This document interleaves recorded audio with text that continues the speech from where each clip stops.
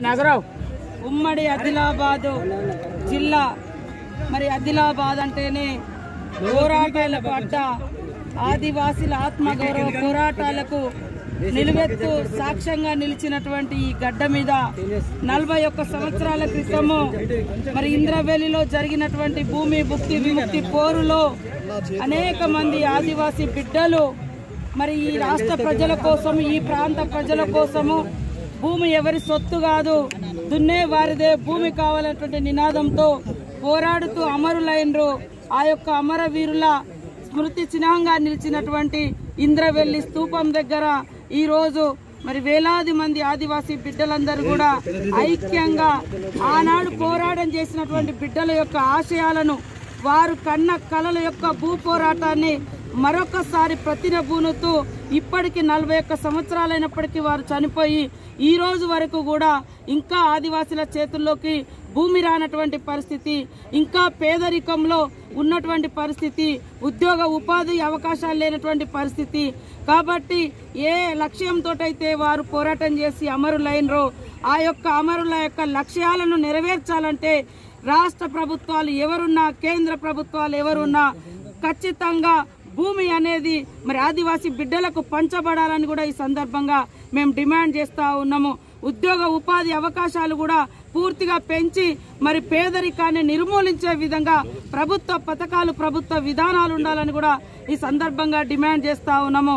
ఇవాళ మా కోసం ఆనాడు అక్కడ వరంగల్ జిల్లాలో చూస్తే స్వయం పాలన కోసం సమ్మక్క సార్లమ్మ కాకతీయులకు వ్యతిరేకంగా పోరాటం చేసింది. అదే విధంగా ఇదొక మరి ఇక్కడ ఆదిలాబాద్ జిల్లాలో గోండ్వాన రాజ్యం కూడా ఒకప్పుడు ఉండే. మరి వేరే రాజు ప్రభుత్వాల్లో కదలికొచ్చి కొన్ని సంక్షేమ పథకాలు ప్రవేశపెట్టబడ్డప్పటికీ పూర్తి స్థాయిలో అమలు కానటువంటి పరిస్థితుల్లోనే మరి దశల వారీగా ఆ రోజు మళ్ళీ ఇంద్రవెల్లి పోరాటం అనేది వచ్చింది. కాబట్టి మా చరిత్ర అంతా పోరాటాల చరిత్రనే. ఆ రోజు రాజుల కాలం నుంచి బ్రిటిష్ కాలం నుంచి ఈనాటి నిజాం కాలం నుంచి మరి ఈనాటి పాలకుల వరకు కూడా త్యాగాలు ఎక్కువైతున్నాయి ఫలితాలు తక్కువైతున్నాయి. పోరాటాలు ప్రాణ త్యాగాలు ఎక్కువ చేస్తున్నారు మా జాతి పెద్దలు. కానీ అనుభవించింది మాత్రం చాలా చాలా తక్కువ కాబట్టి ప్రభుత్వాలు వీటన్నింటిని కూడా సమీక్షించుకొని మరి అటవీ ప్రాంతంలో జీవించేటువంటి బిడ్డలకు హక్కులు కల్పించాలి. ఏదైతే పోడు భూముల అటవీ హక్కుల చట్టం ఉందో దాన్ని సంపూర్ణంగా అమలు చేయాలని అదేవిధంగా జీవో నెంబర్ త్రీని కూడా ఇవాళ రద్దు చేసి ఉద్యోగ ఉపాధి అవకాశాలు కూడా లేకుండా చేసినటువంటి మరి పరిస్థితి ఉంది. అలాంటి పరిస్థితి నుంచి ఈరోజు మరి పిల్లలందరూ ఏం చేసుకొని బతకాలి? అడవికి పోతేనేమో భూమి లేదు. ఇటు చదువుకున్న వాళ్ళకేమో ఉద్యోగాలు లేదు.